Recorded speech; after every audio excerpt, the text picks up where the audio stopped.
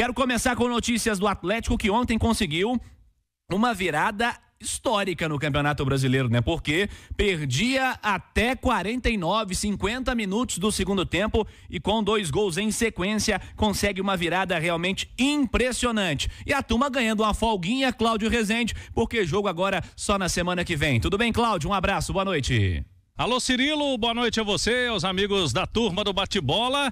É, os jogadores do Atlético curtindo folga após duas vitórias importantíssimas em sequência fora de Belo Horizonte, uma no mata-mata da Copa do Brasil, vantagem construída contra o São Paulo e ontem virada espetacular em Porto Alegre sobre o Grêmio. O Galo estava precisando voltar a vencer no Campeonato Brasileiro. E o técnico Gabriel Milito falou em tirar lições, principalmente do primeiro tempo muito ruim do Galo na Arena do Grêmio, mas também comemorando esse tempo que ele terá e esse tempo é muito escasso, muito raro no calendário do futebol brasileiro, de 10 dias antes do duelo de volta contra o São Paulo pela Copa do Brasil. Ele deu folga para os atletas até a quarta-feira. Reapresentação vai acontecer na quarta tarde. E aí, até o fim de semana, por exemplo, algumas sessões de treinamentos.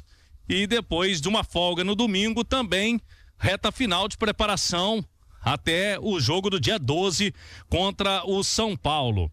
E nesse período também bom, né, para o atacante Hulk ter uma melhor condição física. Hulk que voltou contra o São Paulo e por um controle de carga, ele foi preservado do duelo de ontem contra o Grêmio. Então o Hulk vai chegar mais inteiro para esse jogo do dia 12. E o Milito já citou, por exemplo, que quer fazer testes com o Scarpa e Bernard, principalmente o Bernard, fazendo função diferente, mais pelo lado do campo. Ontem, inclusive, atuou, né? Mais aberto pela esquerda. O Scarpa por dentro também no segundo tempo, não jogando ali como um ala. São situações que o treinador vai tentar fazer aí nesse período, portanto, que ele terá né, de 10 dias antes do duelo contra o São Paulo. E não só para preparar para esse jogo, né, Cirilo? Porque nas semanas seguintes, o Atlético também terá os duelos de mata-mata da Libertadores contra o Fluminense, que vive um momento de ascensão no Campeonato Brasileiro com o Mano Menezes. Cirilo. Pois é, Cláudio, uma sequência muito importante, né? O Atlético vem agora para uma sequência de jogos muito importantes e que certamente vão ditar o que vai ser o restante da temporada, mas depois de uma vitória daquelas contra o São Paulo com gol no fim, de uma virada dessas de ontem contra a equipe, jogando fora de casa, né? Contra a equipe do Grêmio. Era bom que o jogo fosse amanhã já, né, Cláudio? Porque o, de fato a confiança vai sendo reconstruída o Atlético ontem fez o primeiro tempo muito ruim, mas muito ruim mesmo, jogou muito mal.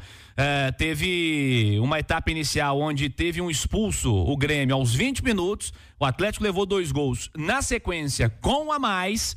E parecia que poderia ter tomado até mais gols ainda no primeiro tempo. Vem a etapa complementar, Milito mexe no time, faz mudanças e a virada começa a ser construída depois da metade do segundo tempo e com dois gols depois dos 50, né? Para se ter uma ideia dessa força que o Atlético teve. Aí sim, um segundo tempo bastante diferente. Daqui a pouquinho tem a conversa com os comentaristas e vamos falar bastante sobre o que pesou mais, né, nesse jogo, né? Para que essa virada fosse construída e também o que fica de alerta, porque o Milito falou também de aprendizado, um termo que foi utilizado por ele ontem na entrevista coletiva, mas fato é que é um resultado especialíssimo para o Atlético, uma virada realmente é, considerada histórica da maneira como foi lá na Arena do Grêmio. Cláudio, a manchete da turma do bate-bola é a seguinte, hein?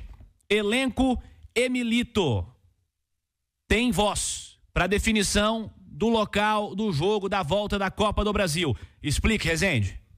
É isso aí, o Atlético vai ouvir o técnico Gabriel Milito e os jogadores que irão até a Arena MRV na quinta-feira para observarem como está a condição do gramado para o jogo contra o São Paulo. O Galo tem o prazo regulamentar da CBF, sexta-feira, para definir onde vai mandar essa partida. Se mantém na Arena MRV, está marcada para o estádio, para a Casa do Galo, o duelo contra o São Paulo, dia 12 mas se quiser fazer a mudança para o Mineirão, até sexta-feira agora é possível fazer a alteração. O que tem nesse momento de informação? O Atlético trabalhando forte para o jogo ser mesmo na arena. Já trouxemos essa informação na última sexta-feira, nada mudou. tem um show no gramado do Mineirão no dia 7, um show grande do Caetano Veloso. Vai utilizar aqueles tablados, né, no gramado e sempre há um desgaste, como a gente já observou outras vezes. E a Arena MRV, esse período aí de mais 10 dias para que o gramado esteja em melhores condições para esse jogo. A diretoria do Galo tem a questão financeira aqui na Arena MRV. Há uma arrecadação bem maior. Tem a questão de jogar na casa do Galo e logicamente vai pesar a definição, né? Uma análise do Milito, do técnico do Galo e também do grupo de jogadores. E para complementar, Cirilo, hoje tem mesa redonda do Galo.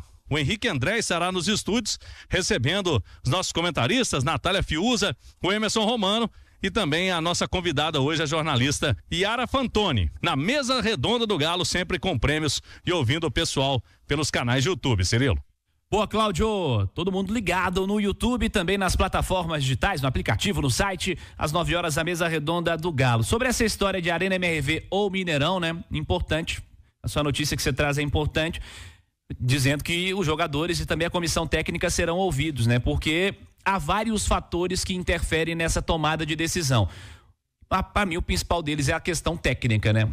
Qual gramado vai estar em condição melhor quando você traz a informação de que vai ter show no Mineirão, é uma outra situação que também merece atenção para saber em que condições estará o gramado, né? E o jogo já é na quarta-feira da semana que vem o show é no fim de semana. E no caso da Arena MRV, esse tempo é importante agora para que o gramado seja melhor cuidado, para que retorne em melhores condições. E é claro, questões financeiras, o Atlético tem muito mais condições de, de ganhar uma grana melhor jogando na Arena MRV, mas para mim o principal é a questão técnica. Vamos ver como é que essa decisão vai ser tomada e o torcedor na expectativa. Fato é que o Atlético tem uma baita vantagem conquistada contra o São Paulo, venceu fora de casa, joga por um empate e o tricolor que vem aí com duas derrotas seguidas, né? Porque ontem perdeu também para a equipe do Fluminense. Vamos ver como é que essa decisão vai ser tomada e o Cláudio Rezende e o Henrique André estão em cima do lance para informar aqui na Itatiaia.